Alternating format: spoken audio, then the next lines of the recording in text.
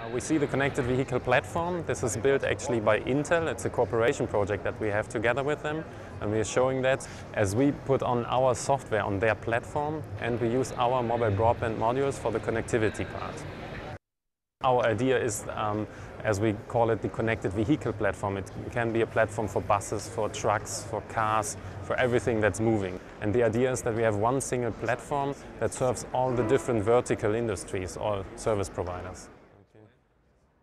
So uh, what we see here is an infotainment use case, so we can watch a video inside the car, listen to radio or music, whatever is in the car but we can also access our content that we have on our home media server. And actually we have the content lying in Germany, and when we access it, it's still less than one second when we can hear, for example, the music in the car here in the US. So the round trip times are quite fast, and even if you have then the server on the same continent, it will be even faster.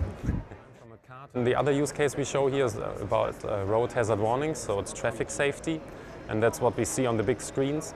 Um, you can issue traffic warnings from the car. So, uh, for example, if the car systems sense an emergency braking or something, they will send that to a traffic management center and that will be distributed to all the cars in the surroundings. So the cars are warned by that.